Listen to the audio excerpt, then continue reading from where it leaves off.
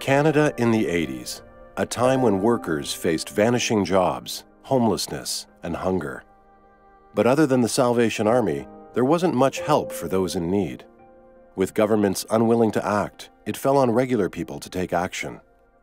That's when the idea of a food bank was born, not as a long term measure, but as something temporary until the wealth could trickle down as government promised. Today, there are more than 800 food banks across the country, feeding close to a million Canadians. But are food banks the best way to serve the hungry? Food banks are always running out of food. They have to have stricter rationing. Uh, they're stigmatizing. Uh, they deny people's dignity and choice, uh, which I think is a sort of fundamental in terms of human dignity, in the sense of being having enough money in your pocket and going into a food store like anybody else and being able to purchase your own food feels terrible never having enough money. You feel like your self-esteem is taken away sometimes because you feel very low class. I'm on disability and by the time I pay my rent, I'm lucky if I have a couple dollars left over for groceries once my bills are paid.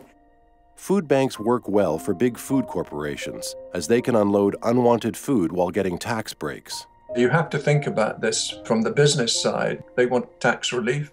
They want a cheaper way of getting rid of their food. They want to be seen, though, to be doing their environmental bit. But the problem is, it doesn't actually uh, achieve this, and the studies, the research shows that this is not actually what's occurring. In Woodstock, Ontario, a small multi denominational church group may have found a more humane way to help those in need. Nine years ago, it closed its food bank and started a program called Food for Friends. In this program, hungry people are given a plastic card to buy their own food. Funding for the card comes from grocery shoppers. People are asked to donate 25 cents, some donate more when they go shopping, and they track it and they write us a check every month for the amount that they collect. It goes directly back on the cards for those who need them. The grocery stores collect the money and hand it over to the Food for Friends program.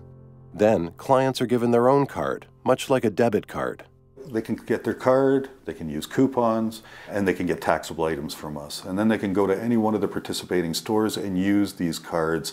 Uh, they're one-time use cards only. They're not electronic, although we do put an electronic strip on the back so that it, it makes it a little more inconspicuous.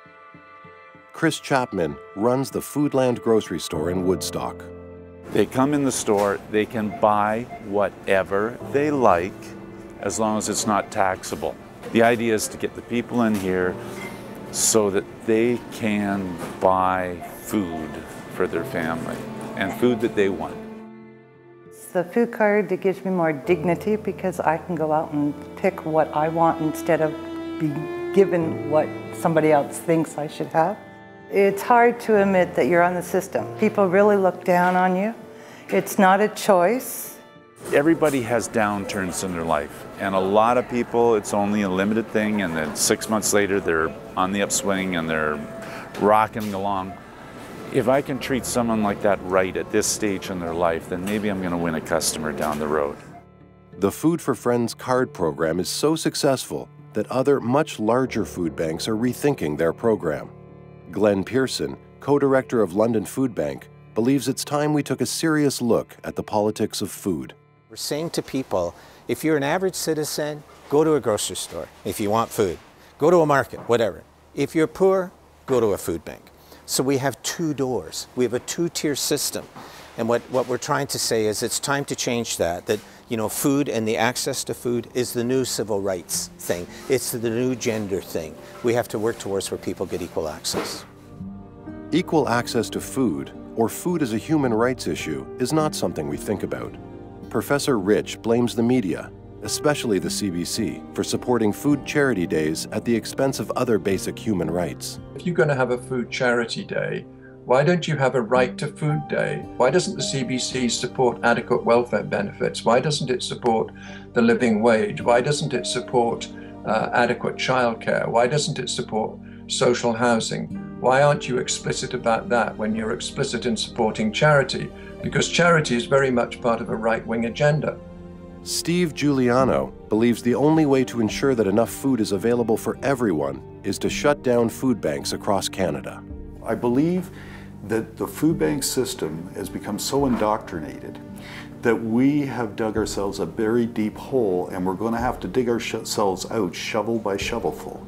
We aren't going to do this overnight, but it can be done. And I believe that we can do something very wonderful that can support a lot of uh, less fortunate people in this country if, we, if we're willing to try.